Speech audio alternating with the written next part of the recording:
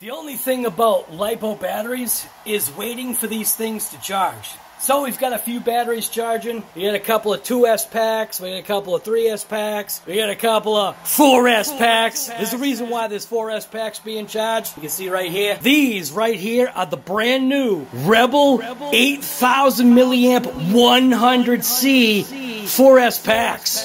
And if anybody's been paying attention, you might have gotten a glimpse of the possibility of what those packs right there, these packs, because they do seem like they're at least, they're at least 16 to 17% bigger in capacity and weight than the typical 4S pack that I run. Today in RC Guy Garage, we are heading over to Diamond Dust.